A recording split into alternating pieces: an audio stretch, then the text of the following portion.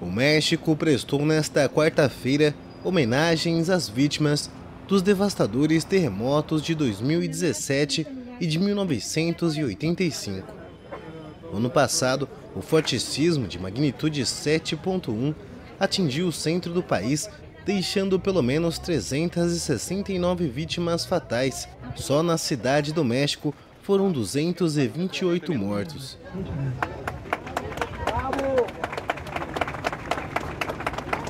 O presidente do México, Henrique Peña Neto, liderou uma cerimônia de hasteamento da bandeira do país durante um tributo às vítimas do terremoto de 2017 e do forte sismo do dia 19 de setembro de 1985, que exatamente há 32 anos atrás abalou o país e deixou mais de 10 mil mortos.